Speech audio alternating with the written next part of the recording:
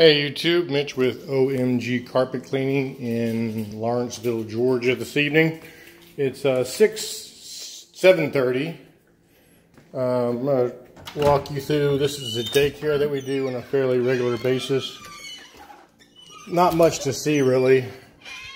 Uh, just thought I would walk you through as we turn off the lights. All these rugs have already been cleaned. Uh, took us about an hour. I don't have an actual total on the number of rugs yet, but this customer gets the rugs done about every month or two.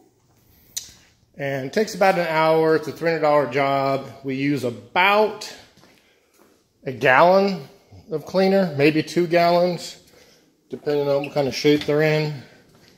Um, this is actually probably the worst they've been, probably because it's summer and there's a lot more kids here for a lot more traffic on them.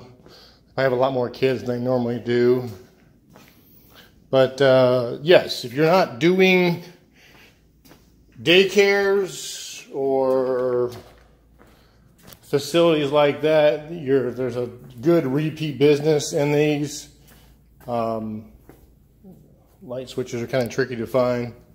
We usually come in before the cleaning crew, cleaning crew which comes in later. Um, room. Oh, here's on the wall over here. So there's nine, nine classrooms. They vary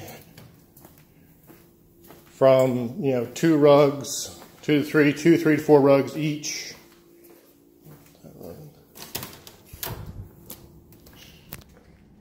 Uh, like I said, we're just coming through, turning out the lights as we wrap up here.